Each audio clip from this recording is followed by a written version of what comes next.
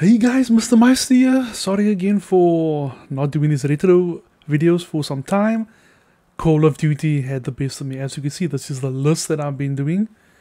Yeah, I played all of them. I'm getting, I'm getting ready for Modern Warfare 3. But nevertheless, let's continue with a game called Bug's Quest for Tapes. Ah, the 80s, you know, when gaming was the best. Coming of age, step into your arcade, seeing all those blinking lights. But no, this is 2021 when this game was released.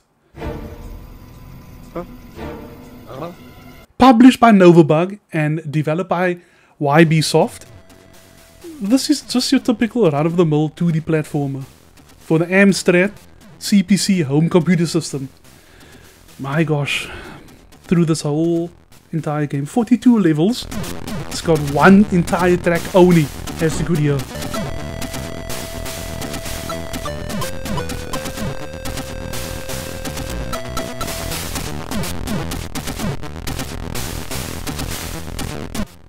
So you play as a bug as you go through each level collecting tapes. Yes, tapes for God knows what.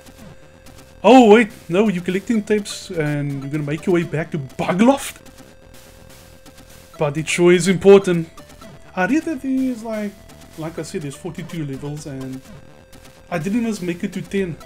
Fuck! Anyway, you go through these levels collecting tapes all the while dodging these enemies, original enemies, such as a moon, a face, sperm, wait sorry I mean ghost, Atari controllers, the fuck?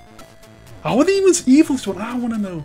Gremlins, PCs which looks like 286s, and my all-time favorite, floating sheep.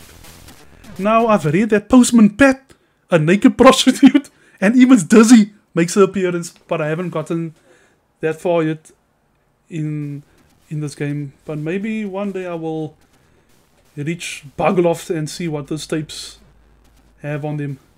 Mm, I wonder.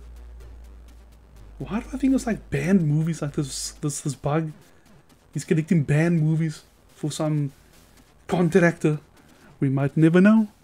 But guys, thank you again. And stay tuned for, for more. I'm definitely going to do this. I actually missed doing this, so stay tuned for more. At least they granted you 25 lives, so